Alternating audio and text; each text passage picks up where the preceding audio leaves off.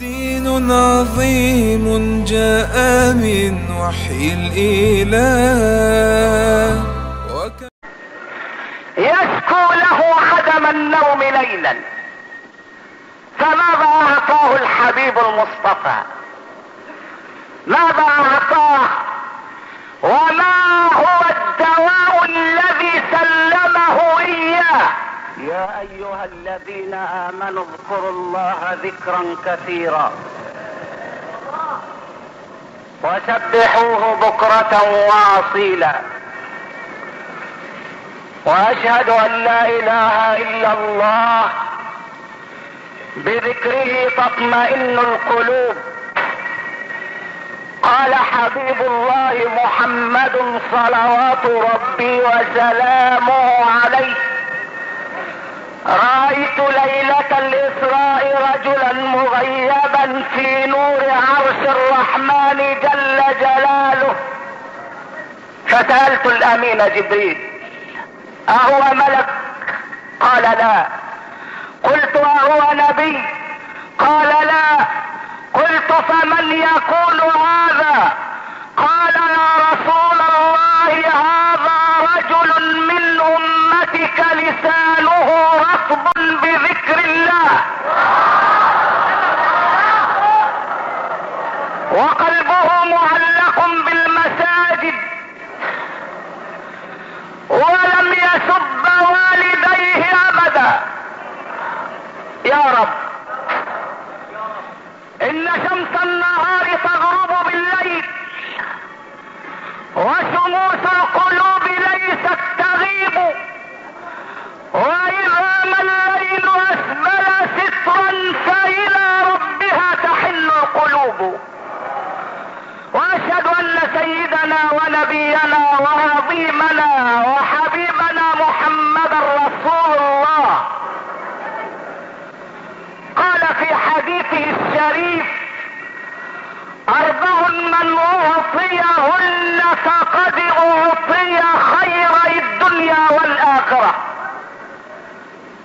قلبا شاكرا ولسانا ذاكرا وبدلا على البلاء صابرا وزوجة لا تخونه في نفسها وماله سيدي ابا القاسم يا حبيب الله وخصصت دين الشرك يا علم الهدى ورفعت دينك فاستقام هناك ماذا يقول المادحون وما عسى ان تجمع الكتاب من معناك صلى عليك الله يا علم الهدى ما هبت النسائم وما لاحت على الايك الحمائم. أما بعد فيا حماة الإسلام وحراس العقيدة.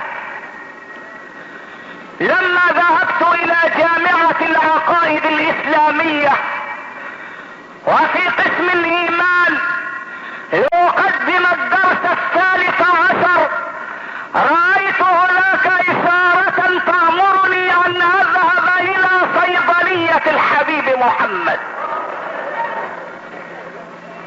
وهذه الصيدلية المباركة مكتوب على بابها وننزل من القرآن ما هو شفاء ورحمة للمؤمنين. يا معاشر السادة وإنما حدثت اليوم للذهاب إلى صيدلية المصطفى.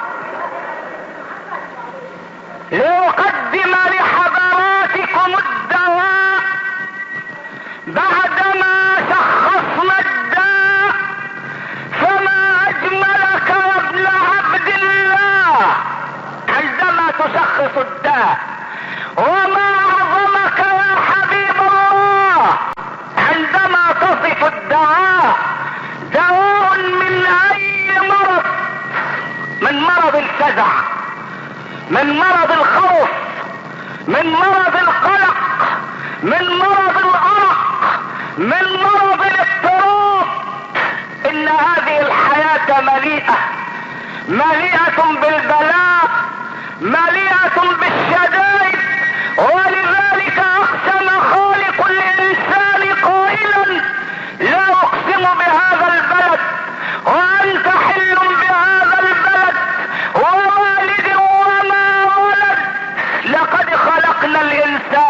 الكبد. هذه هي الدنيا. هي الدار ما الأنفاس إلا لهائب لديها.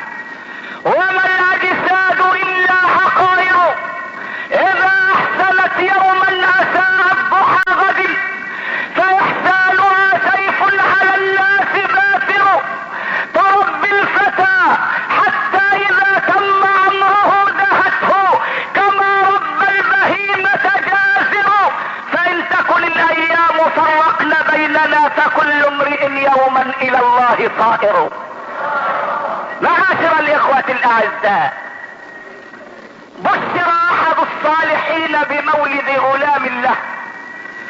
فلما بشر بمولده بكى.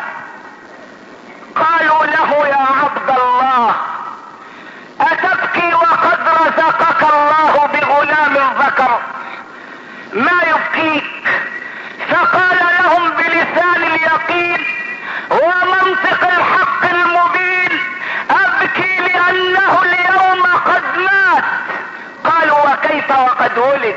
قال لهم لأن كل من كتب له أن يولد مكتوب عليه أن يموت.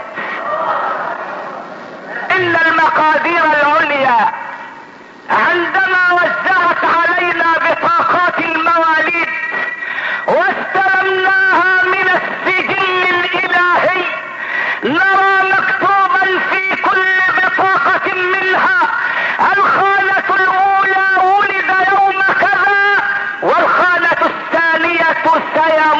سيموت في يوم كذا.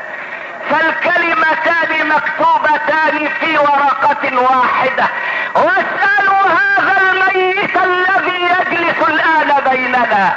اسألوه ماذا رأى بعد ما فارق الدنيا. كل ابن أنثى. وإن طالت سلامته يوما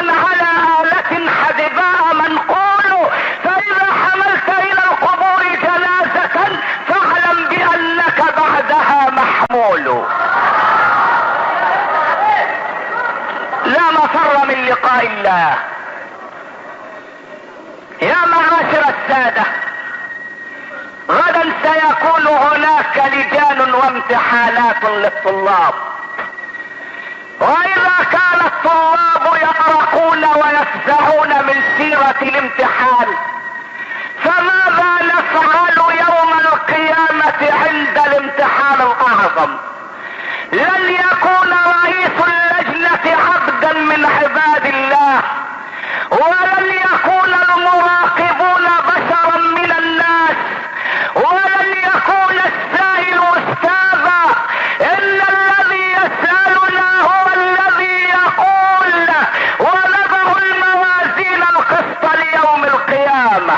فلا تظلم نفس شيئا. وإن كان مثقال حبة من خردل أتينا بها وكفى بنا حاسبين. إن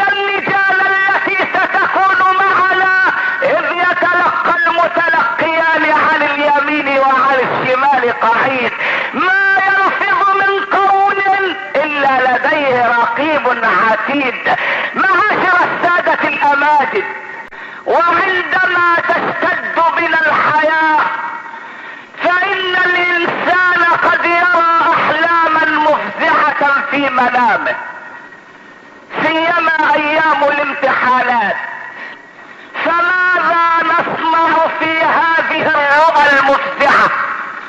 ذهبت إلى النبي صلى الله عليه وسلم في صيدليته العظمى.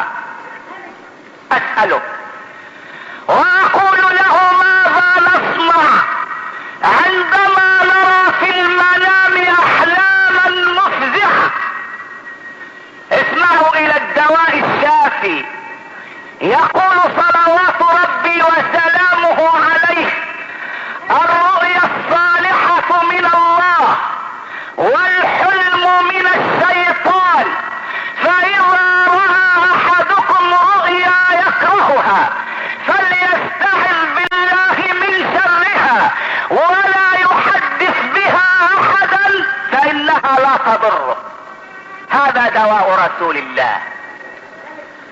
إن علماء النفس وعلى رأسهم فرويد يفسرون الأحلام تفسيرا بعيدا عن أوامر الله ويرون ان الرؤى والاحلام ما هي الا صور تظهر من العقل الباطن والانسان نائم اما الحبيب محمد عليه الصلاة والسلام فيخبر ان الرؤيا الصالحة من الله. ولذلك قال في الحديث الصحيح لم يبق بعدي من النبوة إلا المبشرات. قالوا وما المبشرات يا رسول الله؟ قال الرؤيا الصالحة. ولذلك رأت أم المؤمنين عائشة ذات ليلة ثلاثة أقمار سقطن من السماء في حجرها. فلما أخبرت أباها بذلك قال لها أبو بكر سيدفن في حجرتك ثلاثة من عظماء الرجال. وكان أول العظماء محمد بن عبد الله. وكان الثاني أبا بكر الصديق. وكان الثالث عمر الفاروق. الرؤيا الصالحة من الله. ولذلك جاء رجلان إلى ابن سيرين. قال له أحدهما يا ابن سيرين لقد رأيت في المنام أنني اؤذن فنظر ابن سيرين في وجهه فوجد في وجهه غبارة المعاصي فقال له أنت سارق. وقال الثاني يا ابن سيرين لقد رأيت في المنام انني اؤذن فنظر في وجهه فوجد في وجهه نور الصلاح فقال له ستحج بيت الله الحرام. فقال الجالسون عجبا لك يا ابن سيرين. كيف استندت إلى قولك في هذا وذاك؟ فقال أما الأول فهو حاصل تذكرت فيه قوله تعالى فاذن لسارقون وتذكرت في الثاني قوله تعالى ثم واذن في الناس بالحج يأتوك رجالا وعلى كل ضامر ياتين من كل فج عميق. معاشر السادة الأعزاء وها هو ذا رجل ياتي إلى عمر بن الخطاب رضي الله عنه فيسأله ويقول له يا امير المؤمنين رأيت في المنام ان الشمس والقمر يقتتلان فقال له عمر ومع من كنت تحارب قال له كنت احارب مع القمر ضد الشمس فقال له ستفعل شيئا يغضب الله جل جلاله. قالوا لما؟ قال لأن الله تعالى يقول وجعلنا الليل والنهار آيتين فمحونا آية الليل وجعلنا آية النهار مبصرة. ومضت الأيام وإذا بالحرب تنشب بين اليزيد والحسين رضي الله عنه فكان ذلك الرجل مشتركا مع قتلة الحسين. وهكذا صدق تأويل أمير المؤمنين عمر. ماذا نفعل يا حبيب الله إذا رأينا رؤيا تفزعنا؟ إن الحبيب يقول الحلم من الشيطان. ومعنى الحلم قد يرى النائم في المنام أنه يأتي عملا جنسيا فهذا من الشيطان. أما إذا رأيت رؤيا تفزعك وتقلق مضجعك فلا تحزن ولا تخف. إنما تحول من جنبك الذي أنت عليه إلى الجنب الآخر. وقم من الشيطان الرجيم. ولا تذكرها لأحد فإنها لن تضرك بإذن الله تبارك وتعالى. تعالوا بعد ذلك لنصرف دواء آخر. دواء الأرق. دواء ليلا. وأنا اوجه هذا الدواء لاصحاب النوافذ المضيئة الذين يذاكرون ليلا واسأل الله لهم العون والاعانة ان أيام الامتحانات أيام ورق وأيام قلق فماذا نصنع لنستريح بالنوم القليل؟ اسمع إلى وكالة الأنباء العائشية وقد أخبرت أم المؤمنين عائشة قالت جاء رجل إلى النبي صلى الله عليه وسلم يشكو له عدم النوم ليلا فماذا اعطاه الحبيب المصطفى. ماذا أعطاه؟ وما هو الدواء الذي سلمه إياه؟ قال له إذا أويت إلى مضجعك فقل أعوذ بكلمات الله التامة من غضبه وعقابه.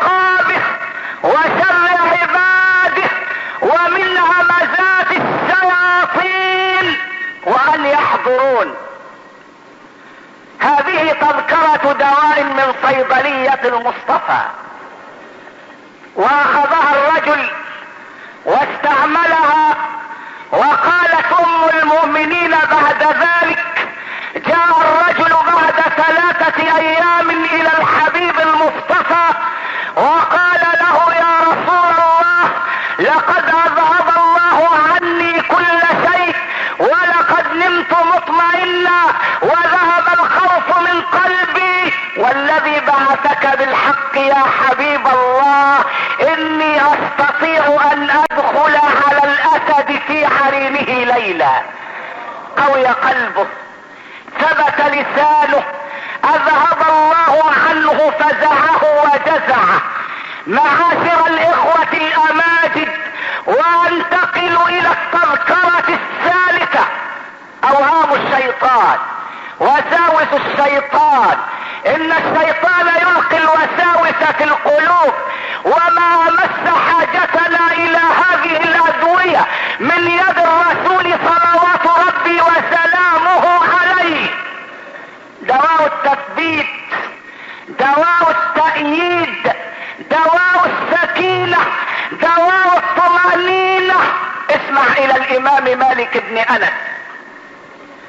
يروي في موطئه فيقول اجتمعت الشياطين على كيد رسول الله صلى الله عليه وسلم وتدفقوا من الجبال والأودية ليكيدوا الحبيب محمدا وهو واقف يصلي بين يدي الله.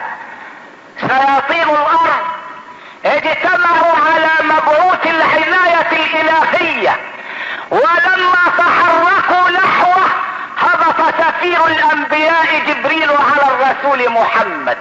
هبط فورا بأمر من القيادة العليا من الجبار جل جلاله وعلمه هذه الكلمات الطيبة التي تدفع كيد الشياطين. قال له يا رسول الله قل أعوذ بكلمات الله التامة من شر ما خلق وذرأ وبرأ ومن شر ما ينزل من السماء ومن شر ما يعرج اليها ومن شر فتن الليل والنهار ومن شر كل طارق إلا طارقا يطرق بخير يا رحمن. هذا دواء كيد الشياطين. لا داعي للذهاب إلى الصحراء. فمن ذهب إلى ساحر وصدقه فيما قال فقد كفر بما أنزل على محمد. ومن ذهب إلى ساحر ولم يصدقه فيما قال ولكنه ذهب إليه ومشت إليه قدماه لا يقبل الله منه صلاة أربعين يوما. مجرد الذهاب إلى الصحراء.